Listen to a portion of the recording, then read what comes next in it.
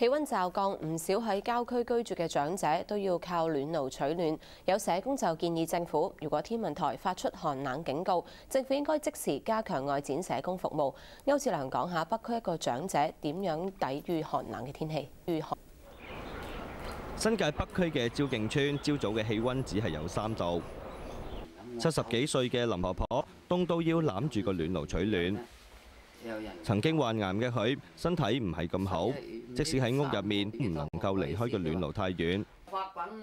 而婆婆住嘅呢間屋用鐵皮搭建，鐵皮同鐵皮之間明顯見到空隙。大風嘅時候，風會從空隙度吹入嚟；落雨嘅時候，更加會漏水。夜晚就好似瞓咗喺一個雪櫃入面一樣。食得飽、着得暖係生存嘅最基本需要，但係有冇諗過喺經濟發達嘅香港，仲有老人家喺冬天要着住五六件衫，冚住五張被瞓覺呢？三件、四件、五件、六件衫啊！個個鐘頭都要醒，個個鐘頭都醒，一凍又醒啦，一一一凍咧就打支啊，打到唔停啊！都好好好辛苦，我我自己。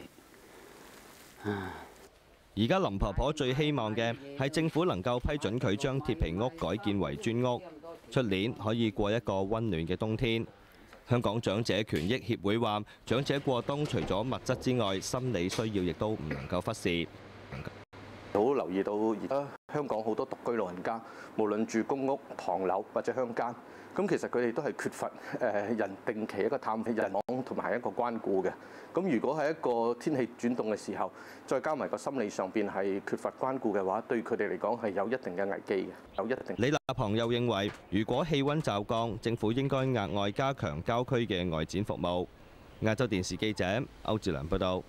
天文台就預測今晚天氣繼續嚴寒，氣温會進一步下降，而寒冷天氣警告同埋霜凍警告咧會仍然生效。